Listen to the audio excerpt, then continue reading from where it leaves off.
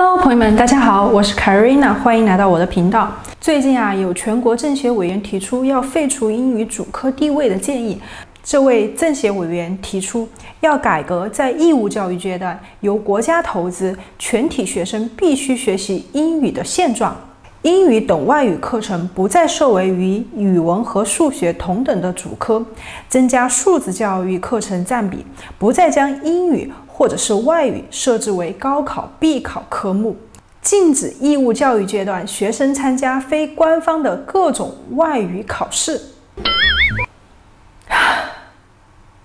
说实话，看到这个提议的时候，我感觉到非常的震惊。除了用“震惊”这个词来形容，我也不知道该用什么词来形容了。我没有想到啊，在我们国家大力倡导全体学生必须学习英文，不过才区区四十年的历史，并且到目前为止，能流利使用英文的人占总人口的比例，不过才区区的百分之一不到。这也没有取得多么宏伟的成就啊，怎么就会有人提出不必费力学习英文这个建议了呢？我想啊，提出这个建议的人，他自己本身肯定是在工作和生活中不太使用英语的那一类人，所以他可能体会不到英语对于他自身的，呃，生活和工作有什么重要性。但是如果他明知道英语是一门很重要的技能，他还要提出这样的建议。那我只能理解为，嗯，此处省略 n 个字，大家自己去感受吧。Three, two, one.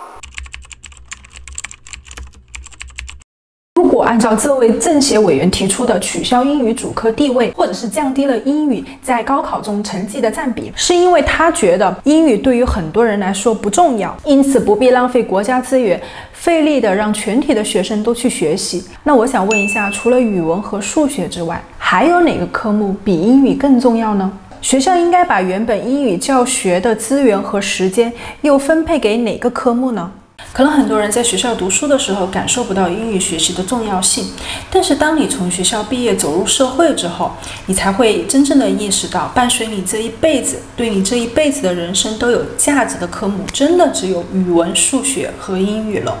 真的毫无夸张，语文提高了你的阅读理解能力和写作创作能力、语言表达能力；数学呢，就教会了你逻辑和思辨的能力；而作为世界通用语言的英语，只是让你掌握了一把打开世界大门、去外面的世界看一看的钥匙。也许当你还是一个从未有离开过家乡、还没有进入过社会的学生的时候，你的认知水平是有限的，你可能觉得英语不重要，国门都很难出，平时生活也用不上，英语有什么可重要的呢？但是当你长大了，走入社会之后，才会发现，原来英语能力能限制你的各种发展，限制你认知这个世界的能力，甚至限制了你的人生和工作选择。在大学里面，如果你英语水平不好，也许你就没办法通过大学英语的四六级考试，进而影响你毕业之后找工作的资质。如果你英语水平不好，即使你专业课程再好，你也没办法通过那些托福、雅思、GRE 等一系列欧美国家高等院校设置的入学考试，进而失去出国深造的机会。或者是说你的专业成绩很好，可以申请那些欧美国家的名校，但是由于你的英语水平没那么好，也许就只能退而求其次，选择一般的高等院校了。还有一点就是，英语作为世界通用语言，这是一个到目前为止还无法撼动的事实。就以我们生活在欧洲的感受为例吧，这边每个国家国土面积都很小。拥有自己的语言和文字，所以不同的国家需要频繁的互相来往。他们在互相交往的过程中就必须要使用英语。所以生活在这边，你就会发现，上到企业的公司老板，下到餐厅的服务员，他们都是绕不开说英语、运用英语这个必要性的。再例如，我们生活的国家葡萄牙，在外语教育方面就遵守了欧盟制定的规则，即通过专门的教育和职业培训计划，促使外语的教学和每个公民的流动性。外语能力被视为所有欧盟公民为了提高其教育和就业机会而必须获得的基本技能之一。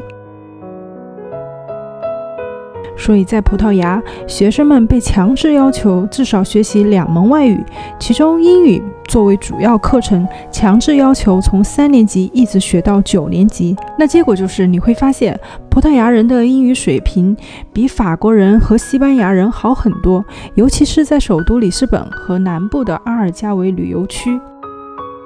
但最让我震惊的还是雪煤厂里面那些四五十岁的工人大叔，居然也能说英语。那么，既然英语的国际地位那么的高，如果我们国家又将英语挪出了主科地位的话，那么在学校里面就无法用公共资源学习那么多英语知识了。那么，那些有经济条件、觉得英语重要。想要孩子熟练掌握这门语言技能的家长，就会不惜花大价钱在校外为自己的孩子创造学习英语的机会，送他们去各类英语补习班，然后花大价钱请外教来帮助他们的孩子学习英语。那我想问一下，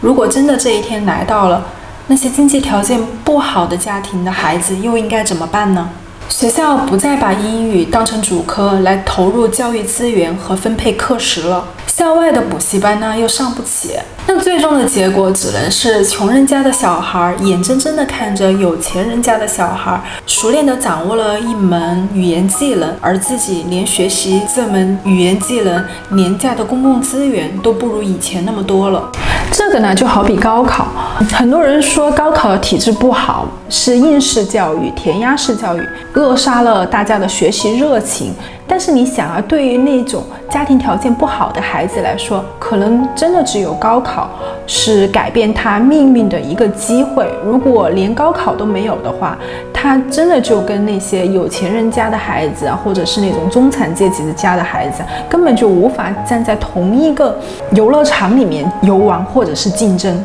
这位政协委员的建议啊，看似在为国家的教育资源着想。不希望国家将大量的教育资源投入到英语教学之中，但是啊，只要英语作为世界通用语言这个地位没有改变，那不是说你个人觉得没有必要投入那么多教育资源就真的没有必要的，也不是说哪个国家他觉得没有必要。这个事实就能改变的。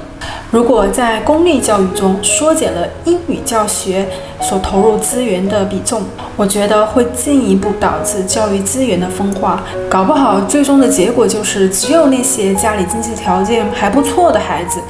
才能掌握英语运用的能力，只有他们才能获得更好的就业机会、更广阔的知识讯息以及更多的人生选择机会，进而导致阶级分化。好了，本期视频就聊到这里。我是 Karina，欢迎关注我们的频道。我们很快再见啦，拜拜。